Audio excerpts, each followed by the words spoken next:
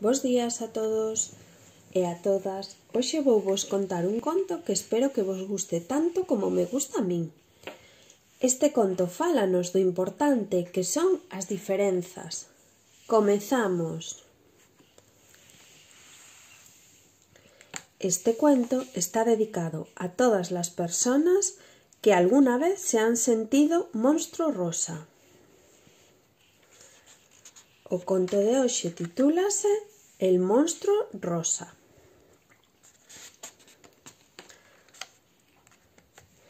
Antes de nacer ya era diferente a los demás. Era rosa y los demás eran blancos. Ups. ¿Qué otras diferencias encuentras? Axúdasme cas diferencias? Vamos a ver, que diferencias atopas?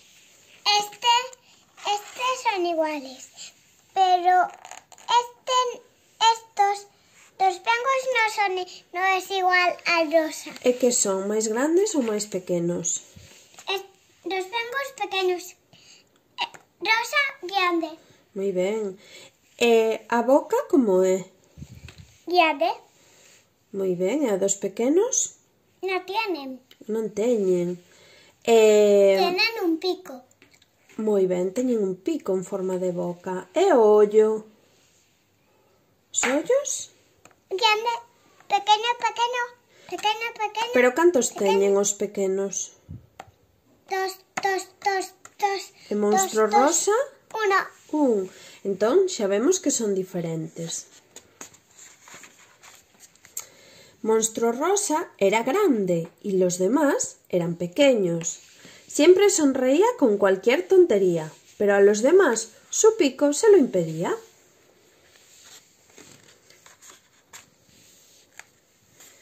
Vivían en un lugar donde todo era de color blanco. El cielo estaba tapado por una gran nube. Los árboles, las casas, hasta la tierra era blanca. Cuando jugaban al escondite, Monstruo Rosa siempre perdía. Porque se escondían las casas. Y al subirse a los árboles, Monstruo Rosa se caía.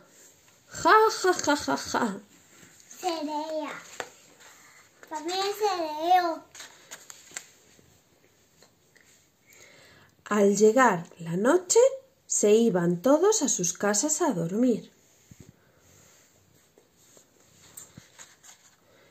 Pero Monstruo Rosa en su casa no cabía, así que dormía abrazado a ella y soñaba con descubrir otros lugares. Eso no es diferente. Hasta que un día se atrevió a buscar otro lugar. Monstruo Rosa un viaje emprendió. Dejó la gran nube blanca, los árboles blancos, las casas blancas y a todos los demás.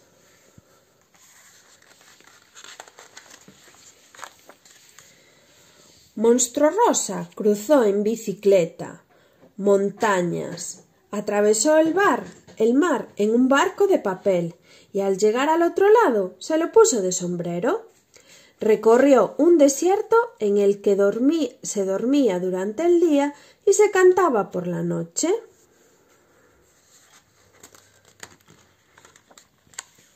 Y pasaron muchos días, muchas noches, muchos días, muchas noches y llegó a un lugar donde sí salía el sol.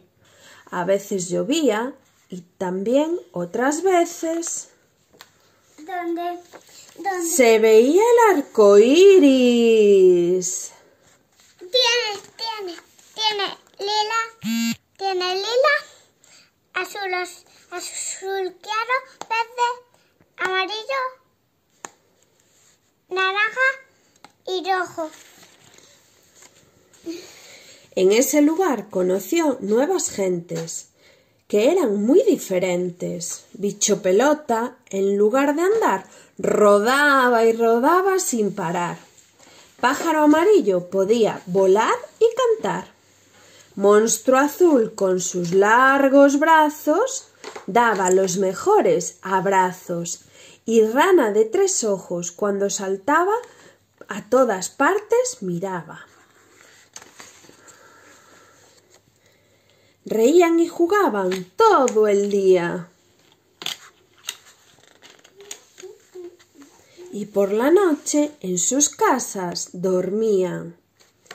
Fixadevos que cada casa é diferente, xa non son todas iguais como no outro sitio onde vivía. Terana, mosto rosa, pajarito, mosto azul. Moi ben, Emma. E Monstro Rosa. En este lugar se quedó a vivir y nunca paró de sonreír. Bienvenidos. E colorín colorado, este conto está rematado. Espero que vos gustase moito. Vémonos na próxima. Un saudiño.